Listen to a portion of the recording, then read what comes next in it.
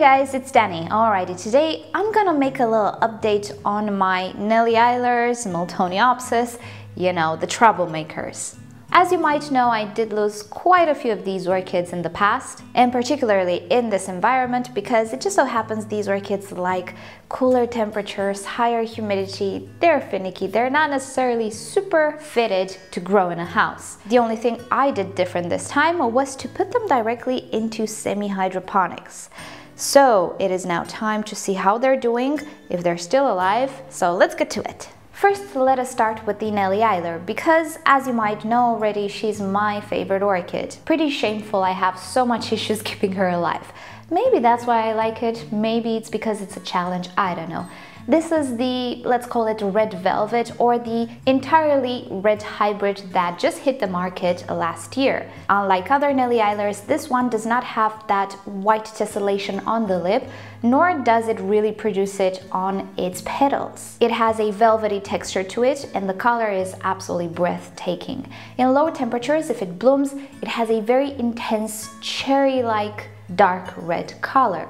The fragrance is the same and the orchid, uh, sadly, is just as finicky as a normal Nelly Isler. However, though, in my opinion, it is a lot more beautiful. As it was, the Nelly Isler was my absolute favorite orchid, and of course the red velvet one surpassed that. It is really something I just dream to keep alive.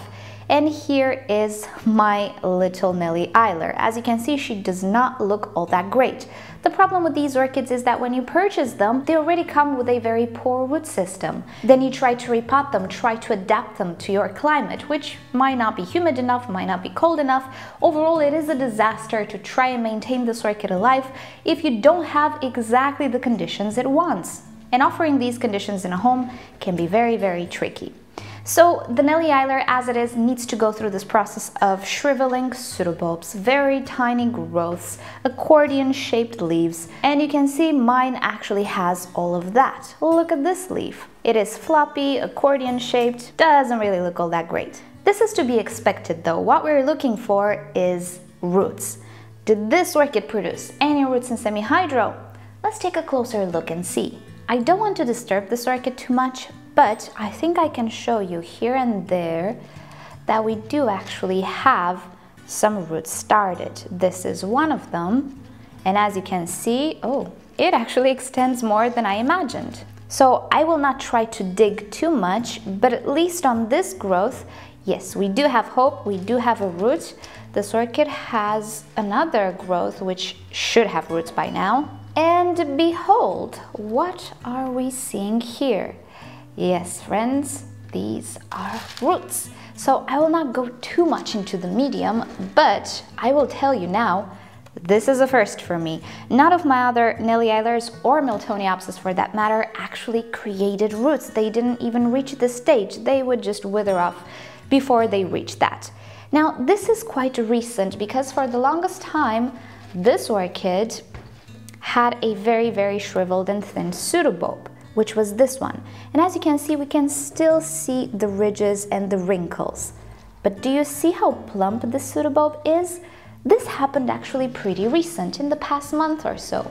And I think it is because the root system is starting to grow in semi-hydro inside the pot. So this orchid, yeah, she still has a lot to go through. As you can see, these new growths, they don't look so good. I don't expect them to bloom if they will try to bloom. A little side note, she is actually willing to bloom. If they will try to bloom, I will probably cut the flower spikes off. I just want this orchid to produce a healthy, big pseudobulb and a nice root system first, and then we can talk about the flowers. I'm not about to let her spend her energy uselessly for a mediocre spike.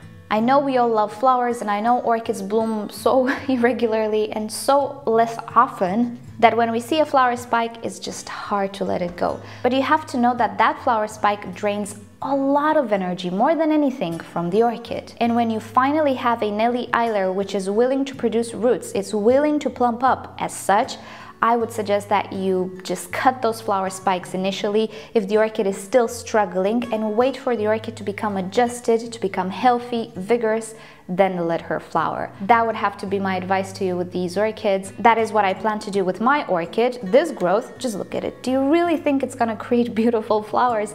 No, it's gonna make one or two flowers on a very flimsy flower spike. Not what we want. We want roots, we want nice foliage and pseudobulbs, and then we can talk about flowers. So this has been the red velvet Nelly Isler, but I do have a few more orchids which are problematic. Let's take a look at them as well. And here we have the Oncidopsis francine. Now this is not a Nelly Isler, but it is a sort of a relative. The Oncidopsis francine looks like a Nellie, but it doesn't have the waterfall on her lip and also the color is a beautiful warm pink. Pretty much that's why I chose the pot a sweet pink for this one because I think it will go so well with the flowers when it will bloom, fingers crossed. The fragrance is yet again a little different than the Nelly Isler. It has a more Miltoniopsis fragrance to it, more, um, let's say, citrusy vibes. I really, really like this orchid almost just as much as the Nelly Isler. She is special to me. But behold, it is just as finicky.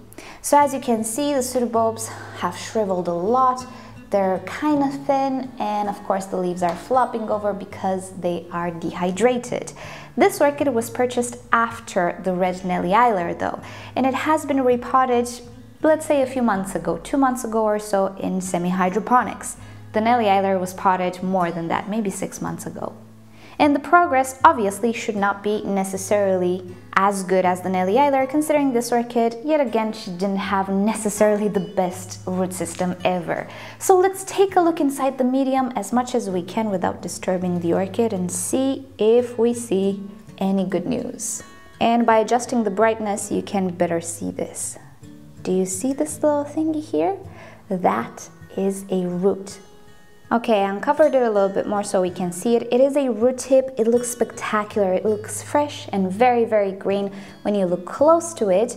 I dug a little bit on this side as well, but I didn't see anything just yet, and I don't want to disturb things further. So I'll put the medium back and maintain the orchid humid as it was before.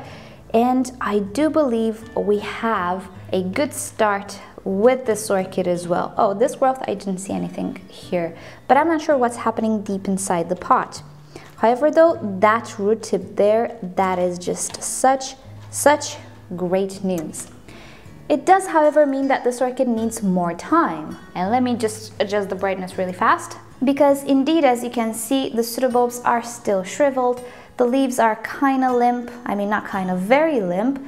However, the orchid is trying. It is producing a lovely root tip and I will do my very best not to compromise it. But I dare say we are on the right track with the Francine as well. The cooler temperatures of winter help us right now and the fact that this setup maintains things very moist but very airy at the same time within, that helps us too and I think it is actually making the difference in my success with these orchids.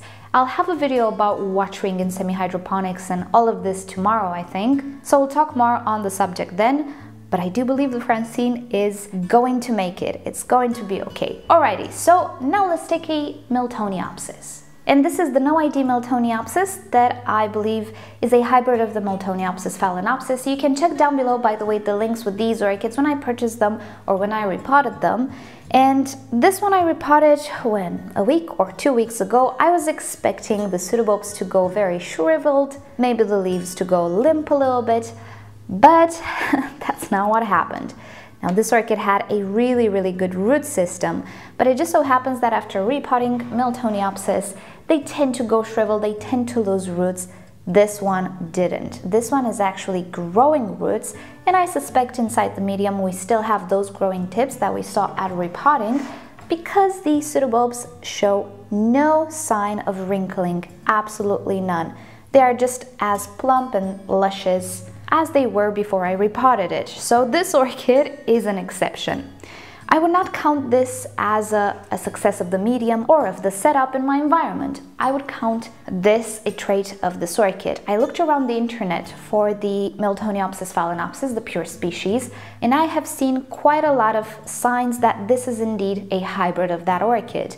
The pseudobulbs are different, they are plumper, they look more like oncidiums. The leaves are thin and strappy in comparison to other Miltoniopsis, and of course the color and the shape of the flower. But I do believe this species, and maybe even the hybrids of this species, are different. I think they are indeed more vigorous. When I repotted this orchid, the roots were thick. They were nothing like normal Miltoniopsis roots. They were nice and thick and just simply vigorous. So if you ever have the opportunity to see this orchid for sale, either the hybrid, either the species, and you do have a budget and you're okay with trying it out, I suggest you try it out. I'm not saying it is the best Miltoniopsis, I'm just saying I have a feeling this particular Miltoniopsis is more forgiving. I hope I'm right, and so far so good, but I'll keep you up to date. And lastly, here we have another Nelly Isler, which I presume it is the normal Nelly Isler. It's okay, the more the merrier. I can not have enough Nelly Islers actually. This is the latest acquisition after I told you I shall never buy Nelly Islers. Well, the thing is, as I was telling you in that video, this was in the flower shop, forgotten under some shelves. The people there didn't even remember they had it. They made me like this huge discount. I paid a few euros on it. I just could not let it go there. I said, hey, you know what? Might as well go in a nice environment, not under the shelves in a flower shop where nobody knows about her anymore, right? So I purchased it, repotted her, and um, yeah, she went through the motions of actually having the shriveled pseudobulb. She's very, very new, so I don't expect the pseudobulb to plump anytime soon. I'm just looking for roots at this point, and I think I need to get you in a lot closer. There we go. Do you see this little tip here? Yep, that is a root. And yet again, this orchid didn't have the best root system. You can see foliage, not very droopy just yet, but she's new. She's gonna go through that as well. It's just one root at this point, so I'm not expecting miracles, but we are definitely on the right track with this orchid. And mind you, we're still in winter. It's still kind of cold and nice for them right now summer will come, but I really hope that in the summertime I will get them adjusted and hydrated. Last year I couldn't. I purchased my Miltoniopsis and Nelly Islers in the cold season and I was hoping for them to have enough roots to survive the mass dehydration of summer. And even though I do have high humidity in this climate, even though I don't keep my orchids outside in the heat, even though, even though, there isn't enough difference between day and night within temperature in the summertime. No matter what, these cold growers will suffer.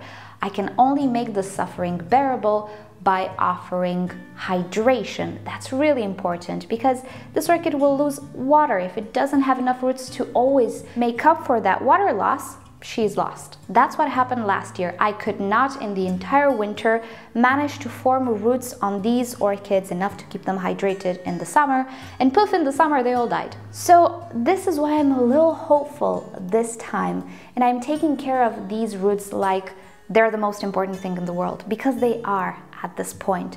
So it's still January, we still have time until May, June, until the warmth starts to kick in. So almost six months, right? So in this amount of time, I need these orchids to have proper root systems.